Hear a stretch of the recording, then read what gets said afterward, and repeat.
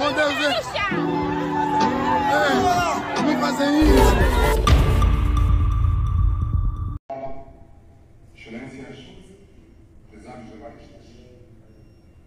Somos um povo, temos uma história e queremos um destino. O nosso destino é de liberdade, dignidade e felicidade. Doutor Jonas Maria Sabino.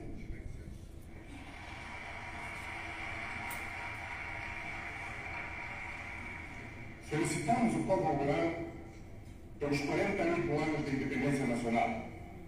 Congratulamos-nos pelo 11 de novembro, dia da nossa libertação do jugo colonial.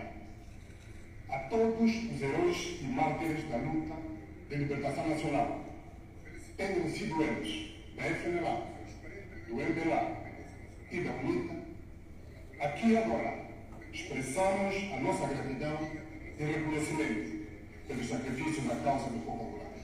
Reaja.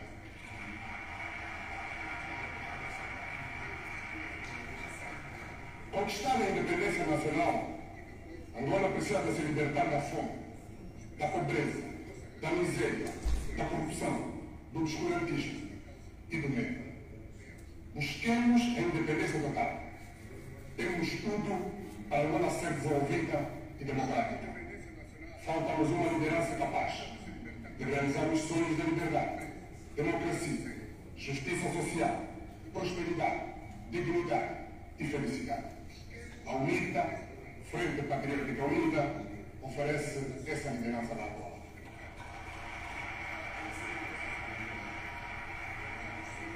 Senhores deputados, após a análise da proposta de orçamento para o ano fiscal de 2024, consideramos ser nossa responsabilidade patriótica alertar a nação, em palavras simples, sobre os perigos que este orçamento representa para a estabilidade, o crescimento e o desenvolvimento sustentável do nosso país.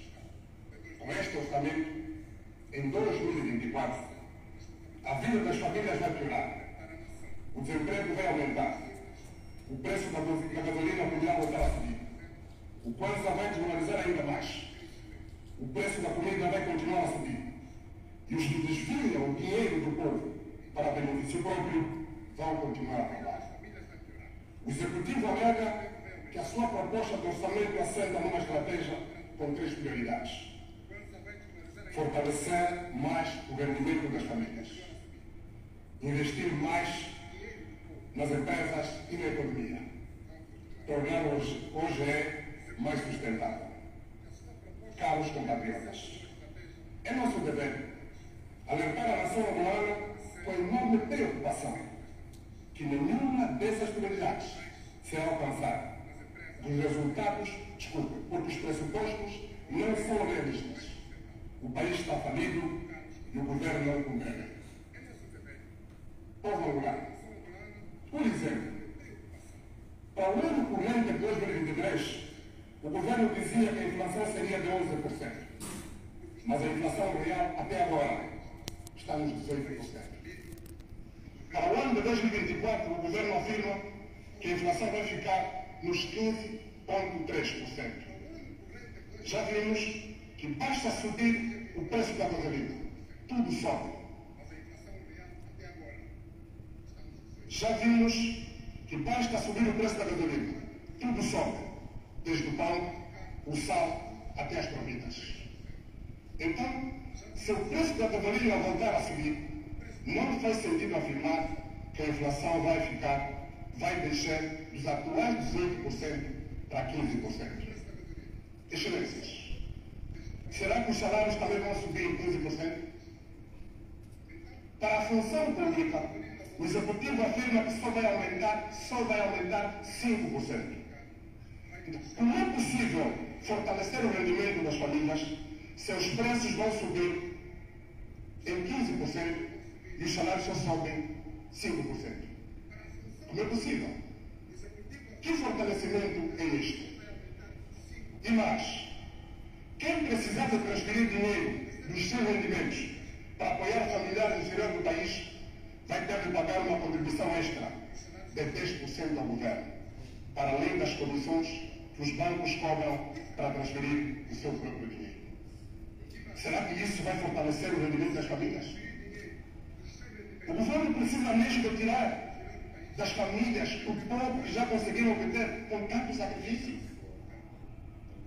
Os jovens estão a dizer que o executivo adotou esta medida porque ela não afeta os governantes, que ganham das comissões que recebem com a sobrefaturação dos contratos que assinam por via da adjudicação direta e não só. O pagamento desses contratos é feito pelo Estado, em que eles são inclusos, porque recebem dos dois lados. Estão isentas desta contribuição especial de 2%. 10%. Eu repito. O pagamento desses contratos é feito pelo Estado.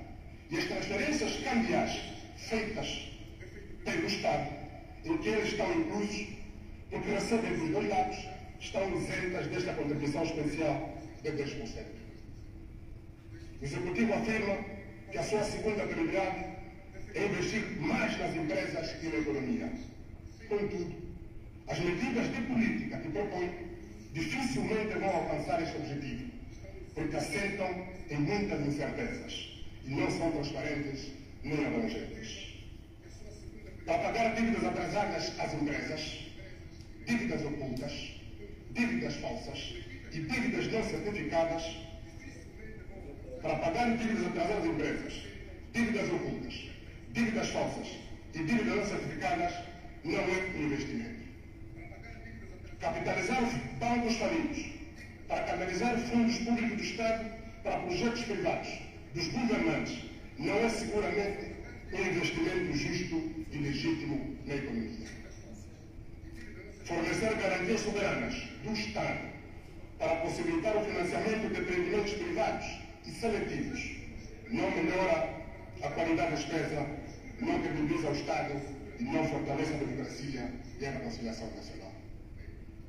A terceira prioridade do Executivo, que é tornar o orçamento geral do Estado mais sustentável, também não será alcançada, porque a sustentabilidade do orçamento depende, em grande medida, da observância pelo Executivo dos limites impostos pela Lei da Sustentabilidade das Finanças Públicas, lei que aprovamos a 30 de setembro de 2020.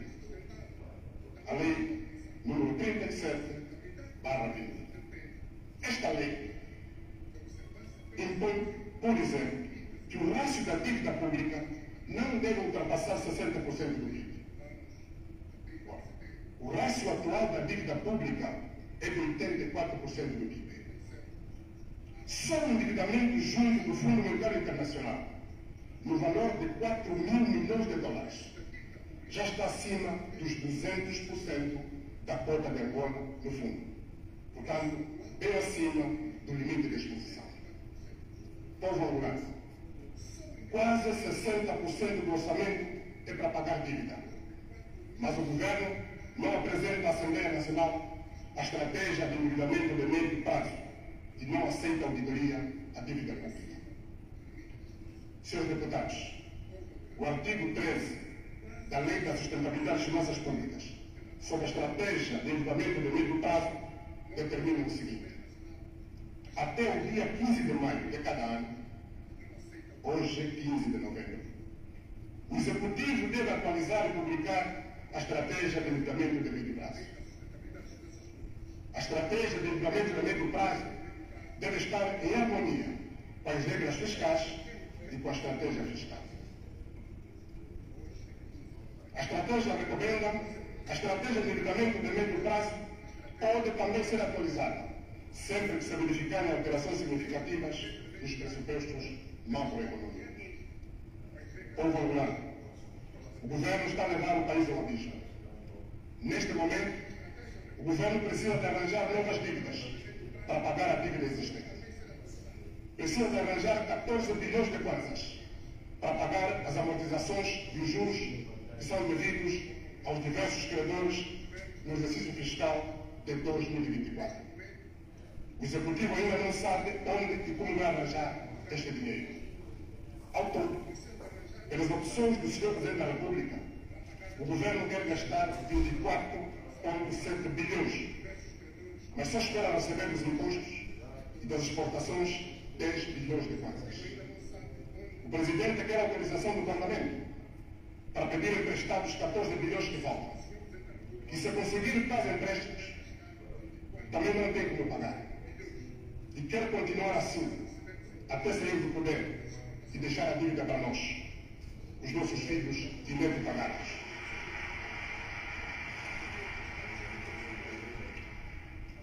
Os angolanos não vão dar, os angolanos não vão dar esta autorização ao senhor Presidente da República, porque o povo já destituiu o Presidente da República. A Assembleia Nacional, a Assembleia Nacional, o Tribunal Constitucional e o Tribunal Supremo estejam preparados para a conclusão do processo.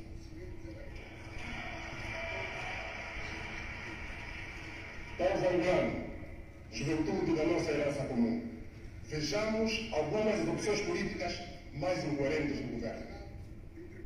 Para a divisão político-administrativa que visa adiar a efetivação das autarquias, o Executivo prevê gastar 1.334 milhões 212 mil kwanzas.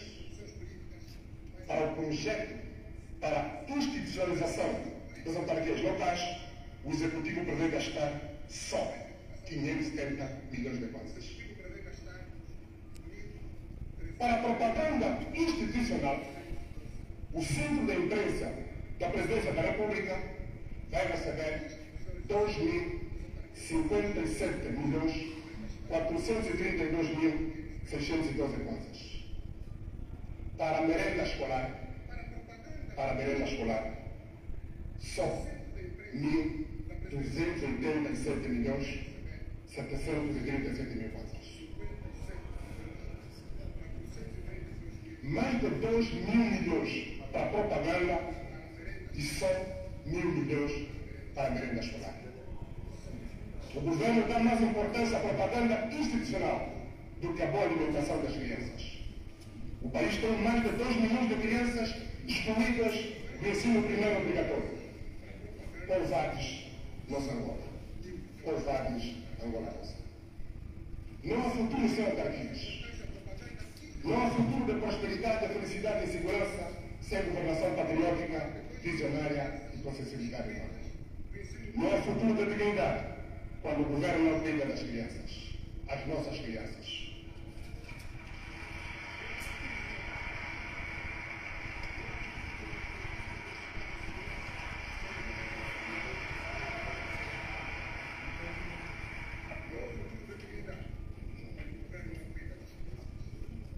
Excelências, até quando vamos continuar a fingir que não vemos ou não entendemos os perigos que o país enfrenta? Até quando, seus deputados? Até quando, seus ministros? A quantos consultores o governo vai pagar mais? Quantos estudos teremos de fazer mais?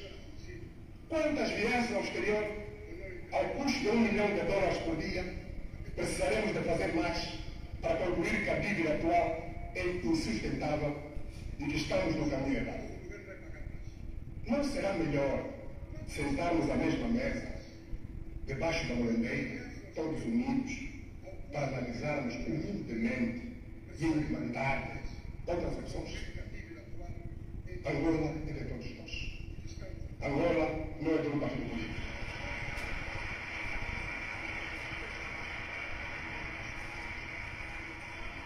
Senhores deputados, o ciclo vicioso da dívida insustentável para financiar prioridades e escolhas erradas está a levar o país ao abismo. O futuro das nossas crianças está ameaçado por este orçamento. As famílias angolanas não vão aguentar esse orçamento.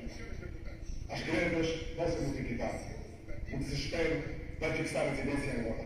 Ninguém vai querer investir aqui. Distintos empresários, caros trabalhadores. Sabemos que as empresas estão numa situação delicada por causa da inflação e dos juros altos que estão a pagar. Os salários perderam o poder de compra. A situação fica agravada com o risco de instabilidade cambial e do novo imposto mascarado de contribuição de 10% sobre o valor das transferências de invisíveis correntes para o exterior. Este orçamento constitui, sem dúvida, um fator de instabilidade que deveríamos evitar.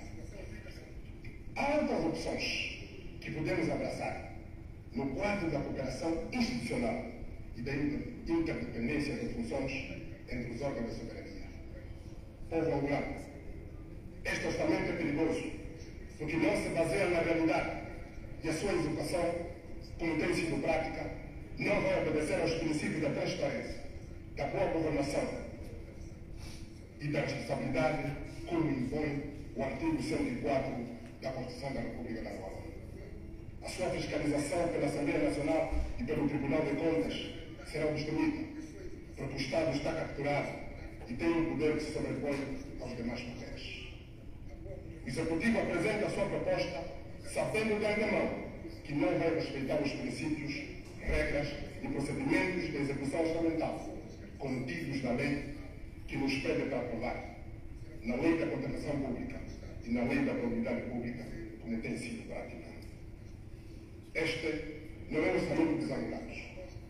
Este é o orçamento da dívida do regime. Este é o orçamento que permite mais peculado, mais corrupção e menos responsabilização. Este é o orçamento promotor das desigualdades e assimetrias regionais. O orçamento dos angolanos, previsto no artigo 104 da Constituição, apresenta a previsão de verbas a transferir para as autarquias locais, nos termos da lei. E este orçamento não contempla a repartição dos recursos públicos entre o Estado e as autarquias locais. Contempla a repartição dos recursos de todos, entre os povos, entre os correligionários do partido, amigos, colaboradores, comentadores e bajuladores do regime. A maioria a maioria da nação recebe migalhas. Migalhas para a merenda escolar. Migalhas para a agricultura. 0,7%. Migalhas para a educação. 6,36%. Migalhas para a saúde. 5,5%. Migalhas para a investigação científica e inovação. Sem investimento massivo e estratégico na saúde, na educação, na investigação científica, no ensino, não há futuro de desenvolvimento sustentável para Angola.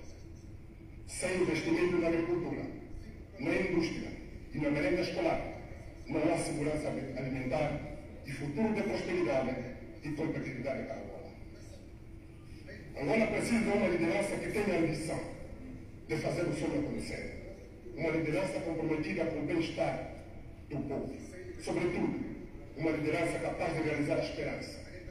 Uma liderança com autoridade política e moral, que não se apega ao poder, mesmo quando não tem legitimidade nem capacidade para realizar o que quer. Angola precisa de uma liderança insuspeita de corrupção ou de violações da lei. Povo angolano, os desvios ao horário, os desvios ao horário e o peculato começam aqui no ato da aprovação formal deste orçamento e concretizam-se na sua execução. Tudo passa pelo Orçamento Geral do Estado. As contratações, as contratações diretas com os monopólios dos amigos vão continuar. As garantias soberanas do Estado para assegurar financiamento público de empreendimentos privados de empresas selecionadas já estão inclusos ou inseridos no Orçamento Geral do Estado. No final, os beneficiários do costume não pagam os empréstimos. Os bancos que emprestaram dinheiro precisam de ser recapitalizados. E lá vem a nova verba, e lá vem verba novamente no OGE, como está a acontecer agora com o Banco de Desenvolvimento de Angola. Este não é o orçamento que Angola precisa sair da crise. Porque todos sabemos que neste orçamento as regras de execução que nos pedem para aprovar não são as que vão ser seguidas na prática quando se fizerem as obrigações diretas, assinarem os contratos e emitirem ordem de saque. Senhora Presidente, a questão levantada recentemente pelo Tribunal de Contas relativamente aos excessivos incumprimentos da lei do Orçamento Geral do Estado pelo Executivo continua atual. Por isso, nós deputados incumbidos de discutir e votar orçamentos perguntamos se os limites orçamentais do endividamento que estão aprovados pela Assembleia Nacional não são respeitados pelo Executivo, para que serve a aprovação da Assembleia Nacional? se as regras e os princípios de execução orçamental aprovados pela Assembleia Nacional não são respeitados pelo Executivo, para que serve a aprovação da Assembleia Nacional? Senhores deputados, o orçamento deve estar ao serviço da prosperidade, da felicidade e da dignidade das pessoas. O orçamento deve estar ao serviço da democracia, da liberdade e da reconciliação nacional. O orçamento não pode estar ao serviço da repressão, do medo, da coação das liberdades, das prisões dos jovens, que sonham viver em liberdade e com dignidade. O orçamento deve estar mais, não, não deve estar mais ao serviço do Estado autocrático, da perseguição de adversários políticos, ativistas, jornalistas e cidadãos. O orçamento não deve estar ao serviço da promoção do ódio, da exclusão, das desigualdades e da injustiça. Cada servidor público saiba que nenhum poder é interno. O único poder interno é de Deus. Cuidemos do povo e das crianças. Deus abençoe Angola. Acorda cedo, põe o pé na estrada. Deixa o filho em casa com uma vontade de voltar pra casa. Quando chega a praça,